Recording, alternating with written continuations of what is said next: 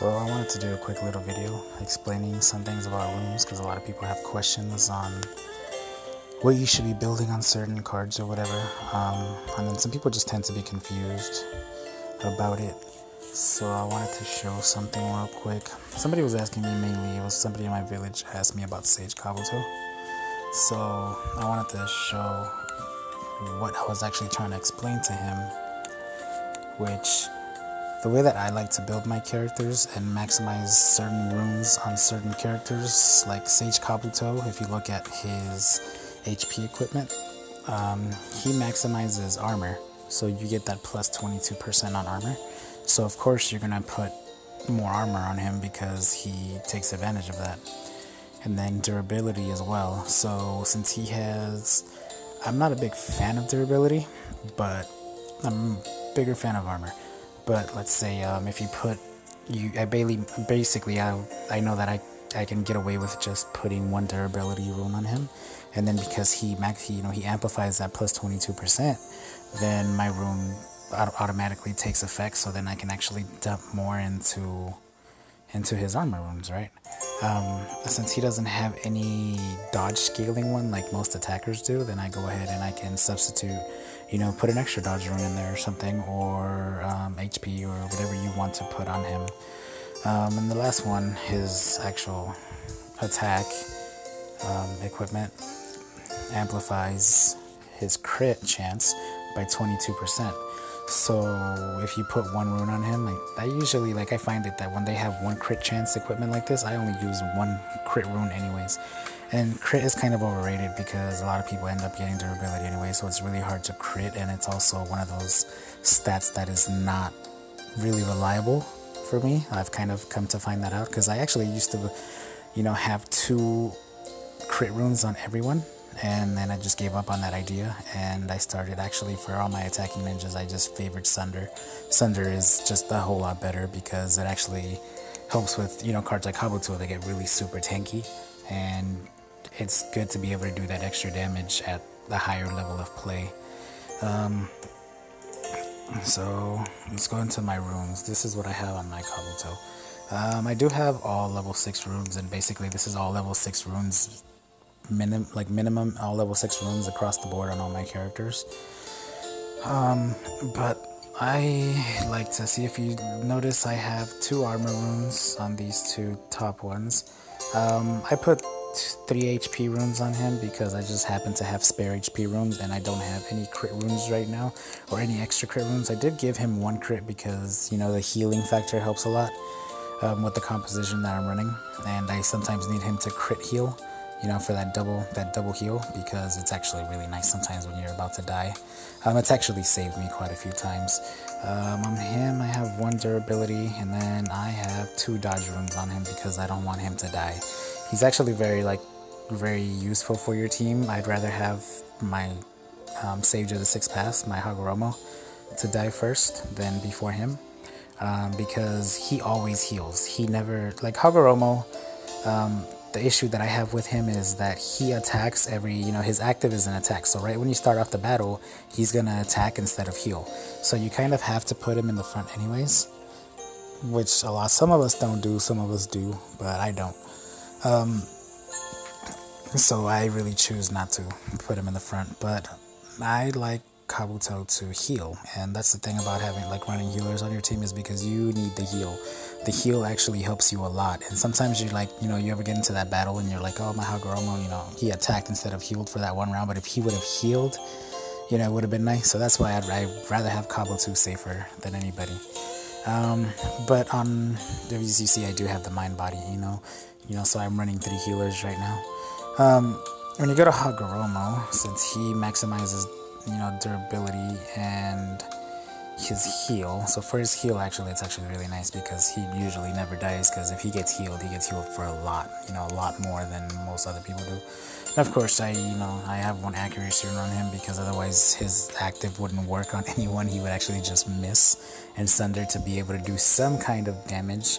I run no crit on him because I really don't need the crit on him. Um, you know, like I said, like you can you can use the fact that the equipment gives you crit, it gives you durability, and it gives you heal. So I just give him some armor, you know, and I think I gave him two armor and two dodge. I'm actually favoring dodge right now because dodge is one of the stats that you really need for this deity challenge, for the god challenge, to be able to beat Kaguya. And that was one of the things I was finally able to do. But it's like I said, I've had to dump a lot of, you know, a lot of resources into my runes, unfortunately. Um, as far as my right now, I'm running Shikamaru, and then I'm running Mifune, Mifune, or whatever, however you say it. Um, on him, I am actually pretty decked out right now. Um, he is probably he's my strongest card, and as you can see, he's at 39,000 HP and at 15,000 attack. Um, the reason I run this is because I don't want him to die. He is the one card that does damage. Like with the comp that I'm running now, he does damage, and he's the only card that's gonna do damage for me. And that's what I that's what I need him for. So I need him to survive. So I have level, you know, all level 7 minimum on him. I have two level 8 runes on him, as you can see. Um, one of them is HP, and then the other one is the crit rune. I run one crit on him. This is this is all I'm gonna run. This is all I usually run anyways on my guys, and this is where all my crit runes went to. That's why I don't have that many right now because I composed this one, and that's how I got the free HP one. Um, level 7 accuracy because I do not want him to miss, and then I have two level 7 Sunder runes because as you see, if you somebody has a level 7 armor rune and you have only one level 7 Sunder rune, you see how they basically, they're made to just negate each other. So automatically the Sunder doesn't help. So you have the extra one to be able to do even more damage past the defense, the natural defense that the card has with their equipment. Um, so that's why that's really why you want to run two Sunder runes on anybody that attacks. So even if you look at my Shikamaru, I run two level six Sunder runes on him because I need him. I need his basic attack to be able to do something. You know, at least do something. And I run the armor on him because I want, don't want him to die either. He actually helps out because it, the combination here that I went for is, you know, Shikamaru, you know, amplifies the damage taken to a card, so that way my Mifune can actually go ahead and one-shot somebody. That's how I have it set up. Um, let's see, what else was I gonna go over? So, Mifune, um, any attacking style ninja, what I've noticed a lot of the attacking style ninjas, they all have their equipment as the attacking one will give you Sunder, which is also helps because I'm running a lot of Sunder on him. And then the crit from the, um, the HP equipment, which actually helps out. So I really, you know, it helps. That's why I at least have one crit rune on him. And that's all you really need. One crit rune should be fine. Some people run double crit rune. I've seen triple crit rune, but I really it's a numbers game with it. If somebody has durability, it's still a hit or miss. And actually, that's why I got really annoyed with it. And I feel like it's, I don't know, I should have rather made a level 8 armor rune instead of a level 8 crit rune. But, you know, that's kind of how I decided to build it. Um, his, his, uh, his defense equipment actually gives him dodge, and that's why I would I would like to run two dodge runes on him, but I really don't want to get rid of durability because, like I said, durability is really nice and it's something that you really need on on people because you don't want somebody else's Mifune, you know, critting on your Mifune. That's it's kind of really annoying when somebody crits on you and you're like, God, like my card's dead now. Which of course that's why we run Sage Kabuto, so that way they can get revived. But yeah, so you, you need at least one I say to have an overall good team composition and everybody running, you know, you need at least one durability rune on everybody just to be able to deal with the crit. Because there are some people like even in my server there's one guy that just runs a lot of crit. And so that's the one reason that he can beat me is because since I run no crit on my tailed beast uh, my tailed beast cry as you see right here I'm running armor dodge accuracy right now um, something else, Pepper, like right now, if you notice, since I don't have any crit runes, if I actually switch one of these to crit, which probably would be the dodge or the armor, either one, if I switch it to crit, my power goes up significantly because I'm missing a lot of crit in my runes. Um, so that's one of those things to take, you know, to take heed of or to take word of, you know. Um, you can build your runes however you want to, and then just, you know, amplify it with your battle cries. So armor I like armor because it you know it counter negates every since everybody has the ninth you know the nine tails it's always gonna run Sunder right? So I have that armor that helps basically make sure that my armor runes don't get negated just by that one battle cry. Um, and then dodge I just like dodge right now. I'm seeing a lot of dodge because as you notice everybody's only gonna put one accuracy rune on and that's why I have the extra accuracy on because sometimes like if I take this accuracy rune off I mean, at the accuracy part of my cry off and give it something else. I mean, I might be a little stronger, but I've noticed that I miss a lot. And it's just, I guess, one level six rune and one level seven rune just like isn't enough for your, for your guys. You really should have two, I guess. But that's why I really like. I'm really favoring accuracy. And if you notice, everybody that's up, you know, like everybody that's you know that's usually like number one in every server you'll notice that everybody runs accuracy in their battle cry it just helps a lot so that way you're just missing really sucks you know like you don't want your Itachi or your Mifune or your um, your Kakashi for the guys that haven't spent the money for a reincarnated Itachi. Um, you don't want you don't want them missing. It's kind of annoying. Um, and then Somebody in my village asked me, should they have their battle cry defense or should they have their battle cry armor? So, like I said, it's one of those situational things where if you don't have really good armor runes, or if you don't have any armor runes running in your comp, it doesn't matter like where you're at, what your power is.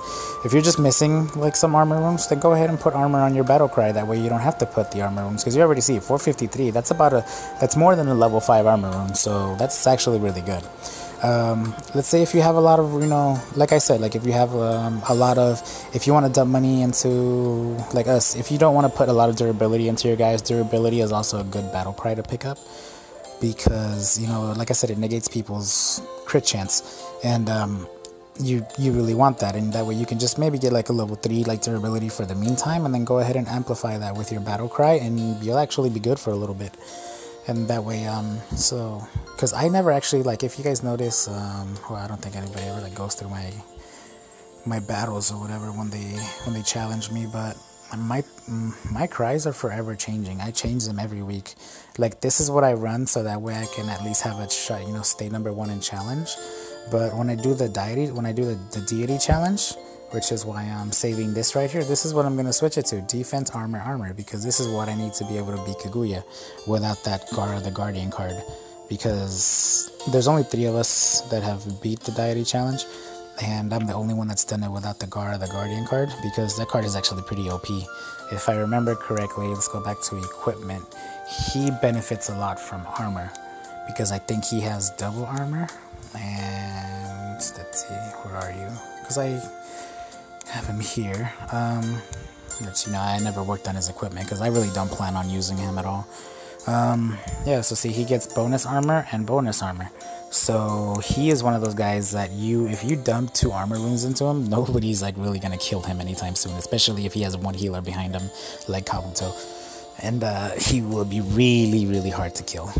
Um, so that's why. So that's why he's able to pass it's, it's easy to pass a deity challenge with him because he absorbs not only does his active absorb you know an attack but then for going up against kaguya kaguya if you don't have at least level like 6 or 7 armor runes she's doing like 35,000 damage and then she'll crit for 70,000 damage I remember the first time I went up against her and that's what happened so that's why I like you know at least have the level 7s or I move my runes around also when I go up against her and um, I put my Hagoromo in front, but that's kind of something that I wanted to go over.